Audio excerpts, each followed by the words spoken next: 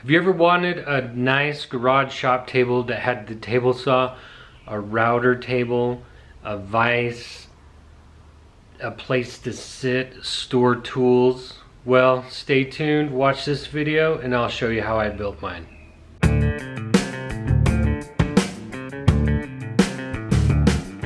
Hey Remodelaholics, I'm Justin. Welcome back to our channel.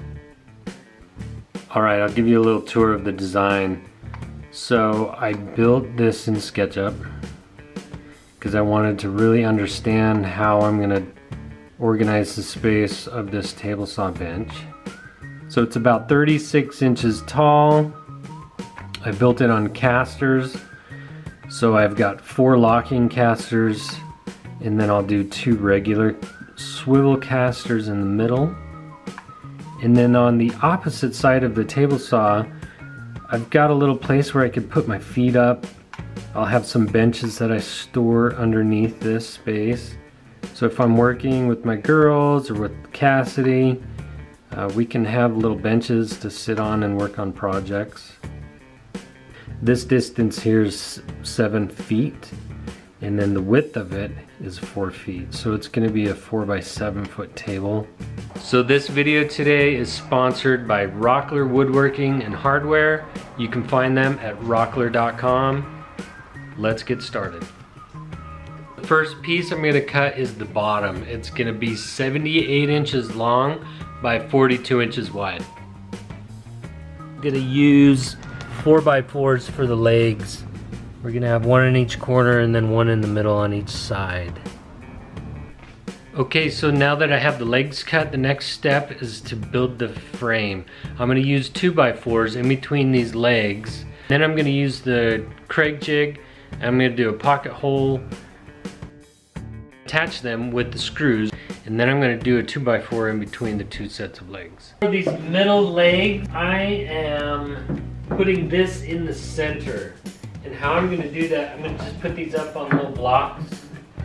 These are one inch blocks. Okay, so I got the three sets of legs put together. What I'm gonna do is put them upside down. So the bottom's gonna be on top of the legs. I'm gonna screw them down nice and tight. And then I'm gonna screw the casters in place. I used a two inch long carriage bolt with a lock washer and a washer pre-drilled all the holes and bolted the casters in place.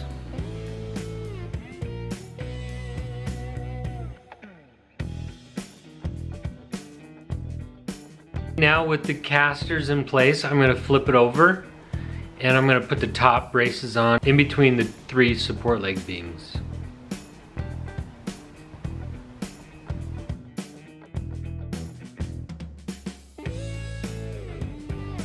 Now the next step is I need to grab one more sheet of plywood and we're gonna do the middle partition. So from here to there, right down the middle, we're gonna create a partition. It's gonna be screwed up through the bottom and give it some extra support. Table saw is gonna be in this area and then over here is going to be the router area.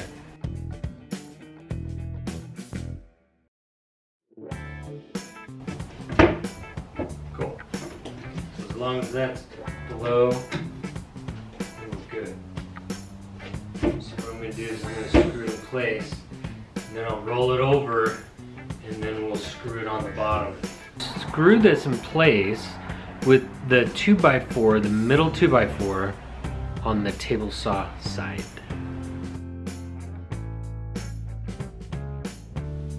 Throughout this video, you're gonna see me using a bunch of different tools and products that are from Rockler. In the description below, I'll have a list of all those tools I've been using that I think are really awesome because they've helped make this process of building this table really nice. So check out the description below for the list of all the Rockler products that show up throughout this video. Here's another cool Rockler tool. This is a jig to help you clamp corners. So this is how the clamp works. There's this, this block goes on the inside. The top side. Makes a nice square corner. And then on this side, you've got the clamps. You tighten up right here. And you tighten that right there. I lined it up with my mark right there. So that's gonna hold it nice and straight up and down. So I'm just gonna draw a line at the bottom of this. It's gonna be right in the middle of that partition board. And then we'll screw it on the bottom.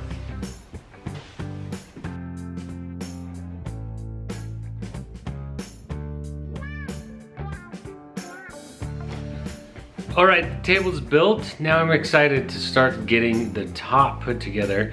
I'm gonna do it in two layers.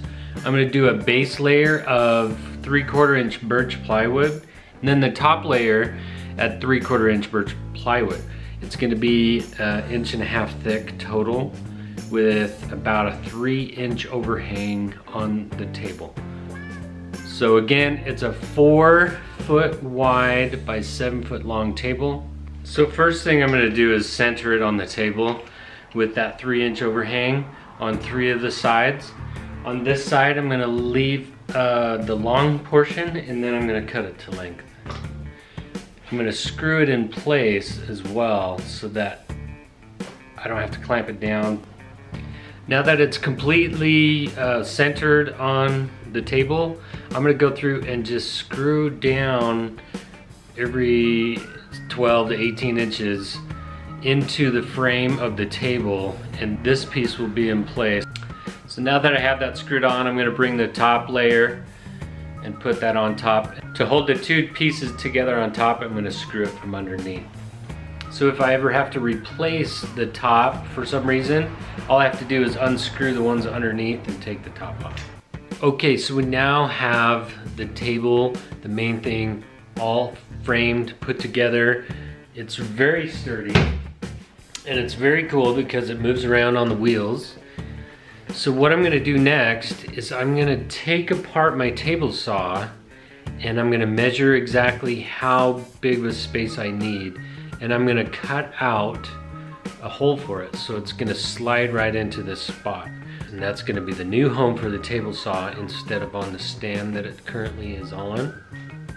All right, so it looks like taping this edge was a really good idea because it did protect it when I was cutting it. Now I'm gonna build the shelf that the table saw is gonna sit on. So from this surface down to the top of the shelf is gonna be 12 and 3 eighths to make sure the surface of the table saw sits right flush with this. So it actually works out really nice that this piece that I just cut out for the table saw, I'm gonna use those two pieces for the two side legs that's gonna support the table saw underneath it. So I'm gonna turn the table saw on right now and cut those pieces to the right width and length. I've got the shelf laid out, cut to length, cut the width. Now I'm gonna notch out the two little corners where it needs to kind of wrap around the post. I'll cut those out with the jigsaw real quick and then we'll see if it'll fit. So I took the three pieces that I cut to length and width, laid them out, clamped them using those corner clamps so it can have a nice squared corner, screwed those in place with three two inch construction screws. Now I'm gonna take this table saw shelf and place it inside the table saw bench. So I'm gonna cut a hole on top of the shelf where all the sawdust is gonna fall down into a compartment underneath the shelf. I'm just gonna leave enough room for the table saw to sit on the shelf so it has enough support and then the sawdust will just fall down into a compartment that I can then go back every once in a while and vacuum it out.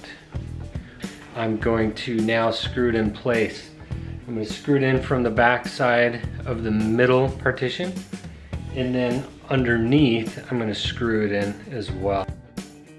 The table saw now sits just below the bench top about an eighth of an inch.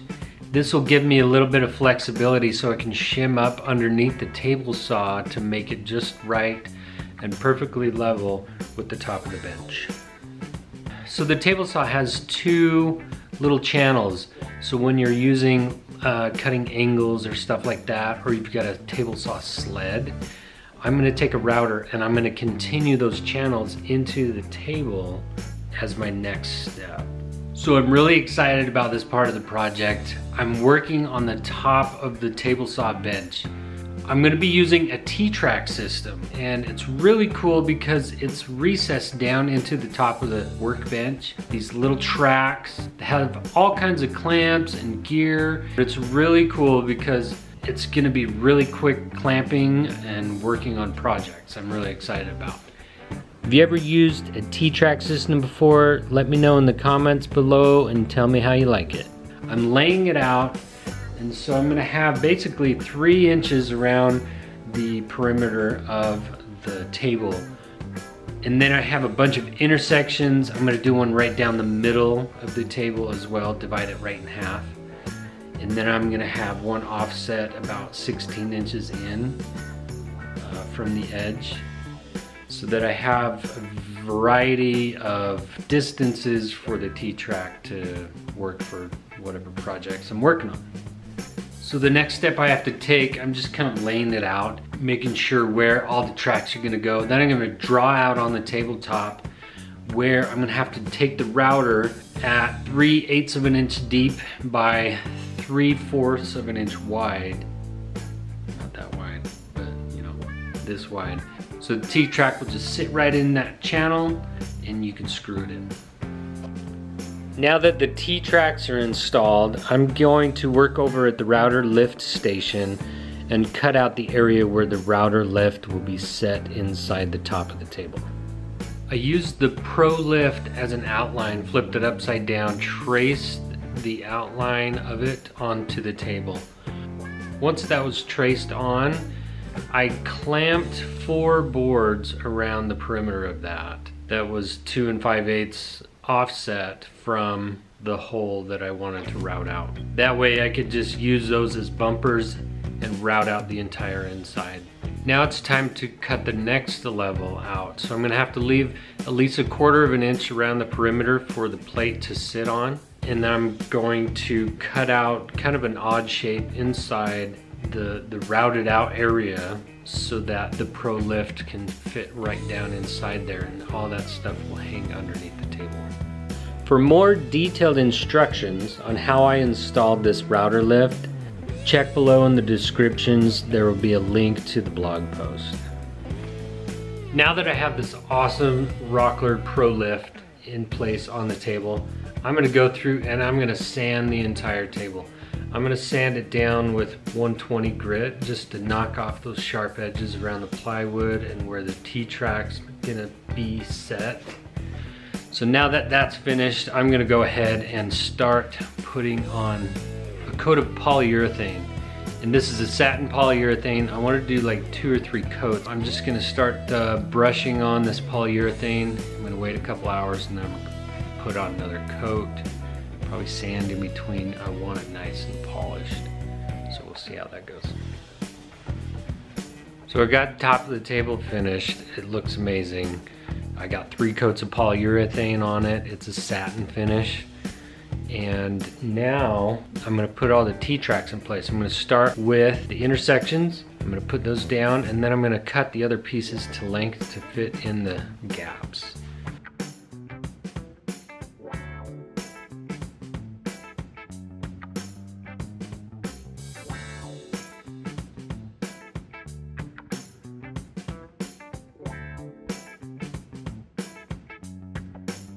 Now I'm gonna work on the router station. So I'm gonna, the lift in place. Once I'm done installing the lift plate, I'll install the router and the fence and all the accessories that I have that go with that. And these accessories are gonna be able to clamp onto the T-tracks that are surrounding the router.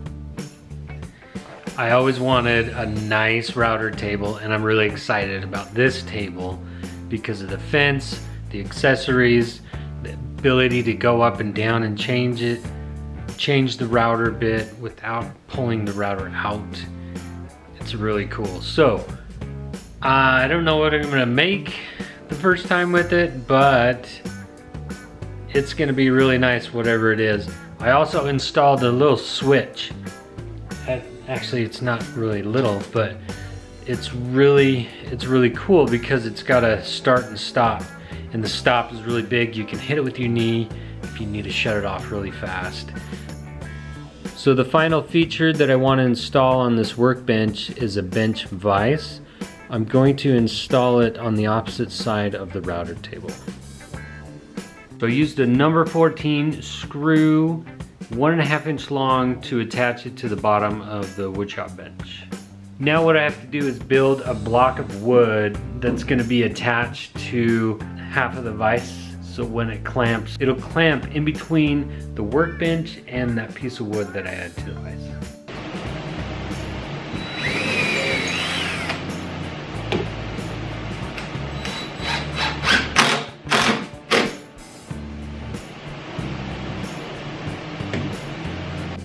I wanted to say one last thanks to Rockler for sponsoring this video.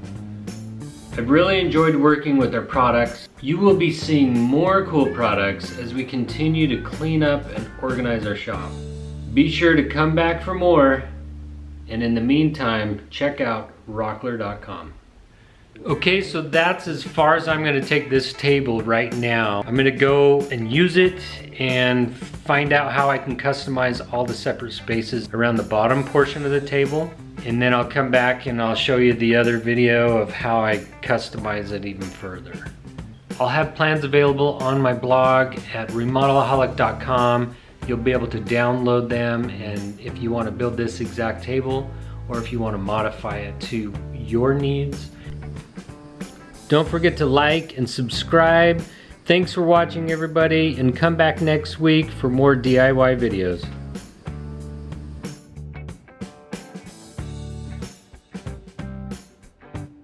Looks like I have one, one arm. Ooh, I could do the wave.